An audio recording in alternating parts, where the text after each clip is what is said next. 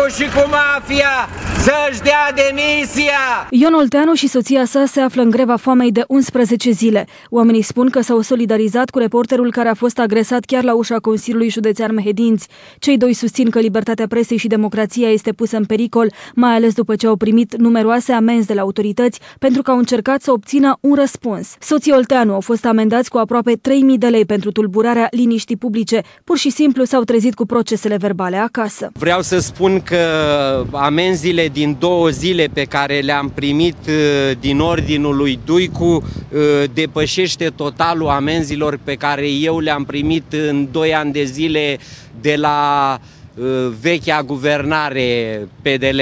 Da? Ce veți face cu aceste amenzi?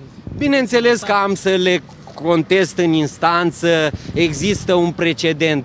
Olteanu a creat în România un precedent. Toate amenziile care le-am primit, le-am contestat și absolut toate, inclusiv un avertizment da, toate, au fost, toate procesele verbale au fost anulate. Protestatarii au depus o scrisoare deschisă către toate autoritățile județului Mehedinți, dar și reprezentanților din fruntea țării. Vor ca premierul Victor Ponta, președintele României și reprezentanții partidelor politice să le asculte problemele și sunt hotărâți să rămână în greva foamei până când cineva le va da un răspuns concret. Le-am adus la cunoștință uh, situația în care uh, eu și soția mea ne aflăm uh, uh faptul că ne aflăm în greva foamei și campania de teroare pe care uh, Adrian Duicu și-a permis să o demareze ajutat de instituțiile statului, așa zis de drept, împotriva noastră.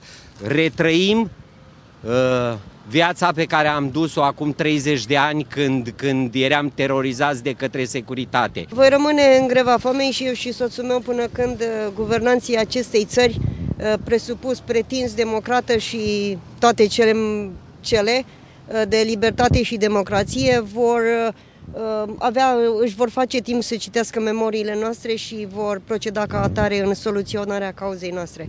Uh, altceva ce pot să vă mai spun este că luptăm pentru democrație, pentru adevăr și dreptate în numele cetățenilor și pentru binele poporului român.